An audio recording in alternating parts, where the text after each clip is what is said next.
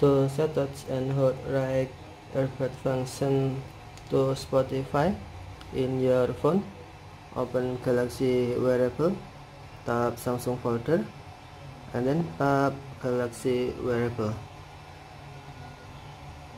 And then select touch control if you cannot find Galaxy Put Left, tap more icon or three line, and then select Galaxy Put Left.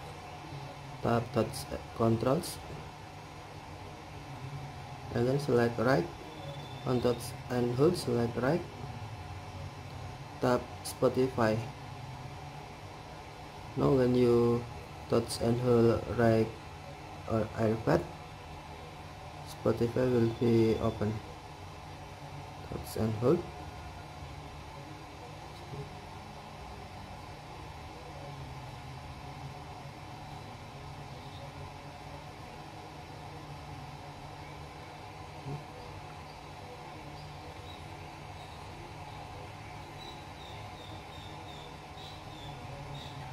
okay thank you for watching. Have a nice day